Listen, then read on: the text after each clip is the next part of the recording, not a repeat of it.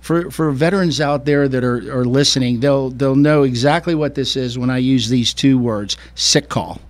Okay, it's it's just like sick call in the military. Uh, you, you you don't need an appointment. You don't have to call in anywhere. You just walk in, first come first serve basis, and you get taken care of. You get treated for minor illnesses. So for those of us who, who remember the days of doing physical training, you know, out in the PT field in the morning and you pull a hamstring or you jam a finger or, you know, you, you, you feel like you're coming down with a cold, you, you, you just don't, you feel crappy, uh, you know, you, you'd go and walk into the troop medical clinic. You, you wouldn't be sent to the hospital. You wouldn't necessarily be sent to the emergency room of the hospital unless, of course, you needed to. They, you'd go right over to the troop medical clinic. And so, uh, in the military, it's it is, is fast and quick and, and took care of you. And so now that we we were able to open some things back up, it's springtime. COVID rates are low.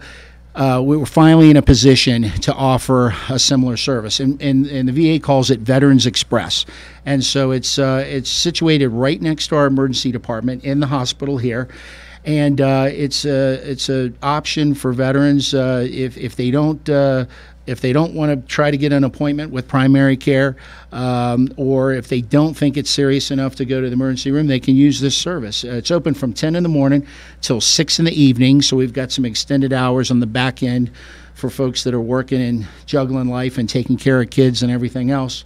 And uh, you don't have to worry with the you know hassle with the appointment line. You don't have to hassle factor with a lot of other things that sometimes can be a hassle factor. Uh, so it's walk in, first come, first serve. We we started it, kicked it off on Valentine's Day, and uh, it's so it's been running about six weeks now, and so far so good, and the feedback's been pretty positive.